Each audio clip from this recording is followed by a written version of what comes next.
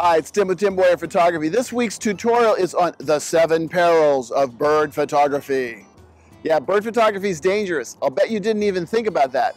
But hey, things happen out there in the field, and some of these are just plain annoying, and other ones, I guess, could be kind of dangerous, but not really.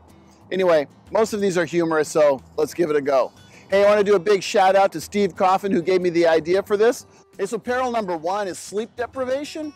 We have to get up really early in the morning to get to the spot before sunrise, and we have to shoot all morning, and then we maybe we take a nap in the daytime, but not really. We post process in the middle of the day, and then we stay out really late and catch that last golden hours of the day. So we don't get enough sleep in the spring and the summertime. So sleep deprivation is a real peril of bird photography. The next one is stuff comes out of both ends of a bird.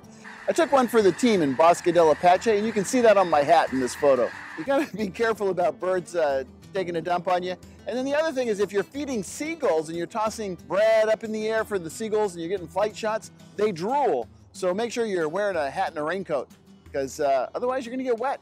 Okay, like a lot of these perils of bird photography, these next several just raise your blood pressure and kind of get you aggravated.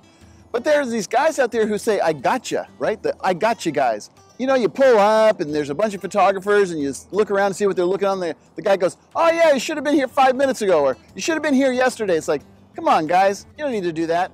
Be helpful. Don't be, uh, don't be, I gotcha. Okay, so don't you just hate it when you go to someplace like Bosque del Apache and you're on a line of photographers and you just happen to set up right next to this guy that all he wants to do is talk.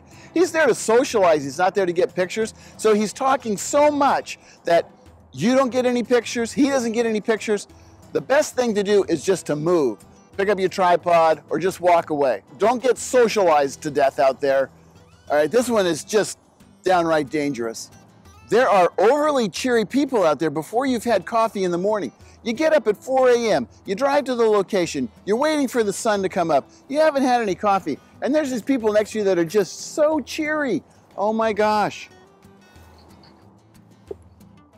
This is an unsponsored video, by the way. Hey, so you overly cheery people in the morning, give us a break. Tamp it down a little bit, okay? We'd appreciate it. Thanks.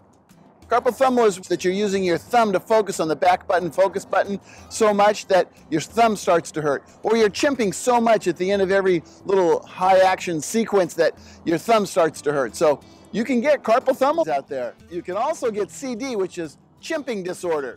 You know, when you're chimping so much that you miss the action of the shot or you got to go show your friend this picture because they just got to see it. And it's like, no, you should be shooting.